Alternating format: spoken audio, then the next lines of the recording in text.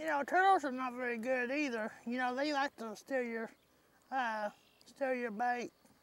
Turtles are real good about stealing bait. And I do not like turtles one bit.